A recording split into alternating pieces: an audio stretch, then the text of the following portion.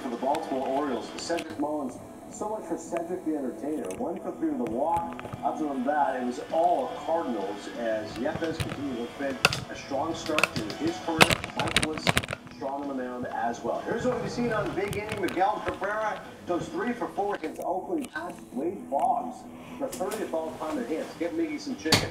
3,013. Next up, by the way, Rafael Palmeiro at 3,020.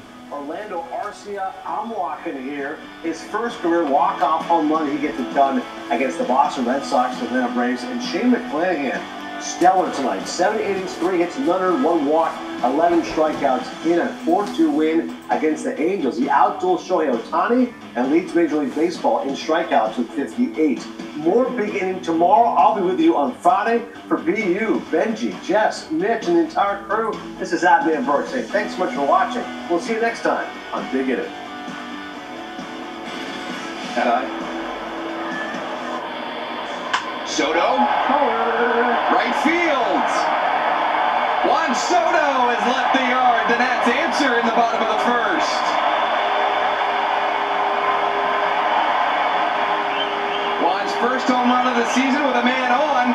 His seventh of the year overall. Fly ball deep left. Back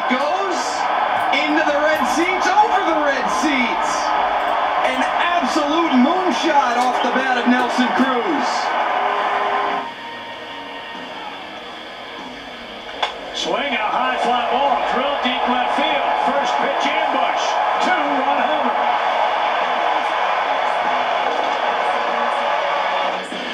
Thanks for watching OBC. Stay tuned for local news. And it's gone. This is PCO 5 with 10. Now Altuve hits his fifth of the year to make it 3 1.